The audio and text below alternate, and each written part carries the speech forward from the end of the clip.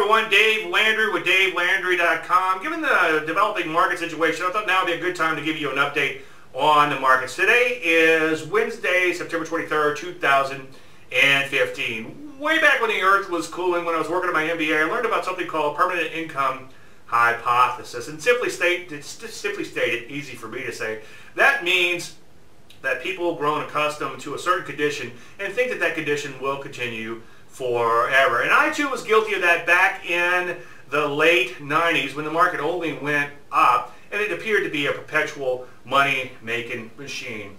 Well, human nature never changes. And obviously we had the bear market in 2000 and we had the bear market in 2008. But since 2008, from 2009 over the last six years, the market has mostly gone up. And I think people have really grown, grown accustomed to the market only going never forget that markets go up and markets go down. Now, I know most of you are probably saying, duh, but you'd be surprised how many people only expect the market to go up. What has me concerned is we have multiple sell signals. Now, before we get into that, keep in mind the market can do whatever it wants. However, you should not ignore these sell signals because all major tops will have a sell signal, but not every sell signal obviously will turn into a major top. My good friend Greg Morris in Investing with the Trend said, we treat all sell signals as if it's going to be the big one. And I think it's very important. So well said, Greg. It's very important that you look at these signals and pay attention to them.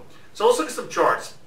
First of all, let's take a look at the monthly S&P 500. Notice that on a net-net basis, we hadn't made any progress in a long while. Also notice that we sold off very hard way back in October, but that was just a bit of a knockout move in perfect hindsight. And then the market continued higher from there, although it didn't really make much progress, again, on a net net basis. Now the market has sold off to right around the area of its prior pullback. So if you're looking at the close of today and you look back almost as much as a year, you can see we're actually lower than we were back then. So at the least, the market has certainly lost some momentum. Also of concern is the fact that we have a lot of overhead supply. There's nothing magical about my form of technical analysis. I just simply use charts to read the psychology of the market participants. And overhead supply is just an area where people have likely bought a market and will likely be looking to get out at break even. Notice on a daily S&P 500 that the market did rally up to that overhead supply and so far was rejected and has rolled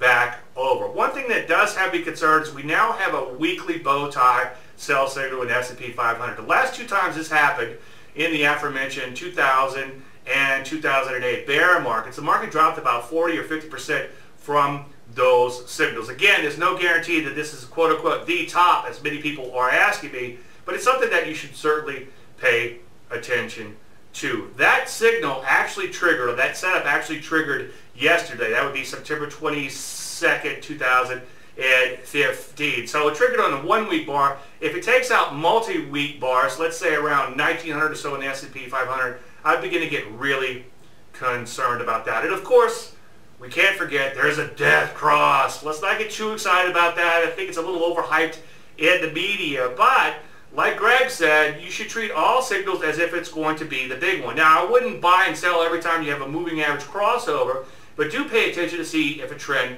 develops. Go back and watch the last couple of Dave Landry's, the weekend charts, and you'll see in one of those I showed where the market could drop 40, 50, and sometimes even 80% after these sell signals. So it pays to pay attention when you do have these sell signals. Any questions, just shoot me an email at dave@davelandry.com or for a lot more information, see my YouTube channel or see my website, davelandry.com. Thanks everyone and happy trading.